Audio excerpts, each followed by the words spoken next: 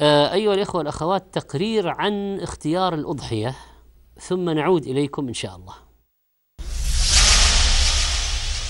بعد مرحلة عمر الأغنام تأتي مرحلة مهمة وهي كيف تعرف أن الذبيحة سمينة أو غير سمينة؟ يمكن معرفة هذا بشحوم الذبيحة، فكثرة الشحوم تدل على أن الذبيحة سليمة بنسبة تقارب 95% وهذا نسبة جيدة جدا.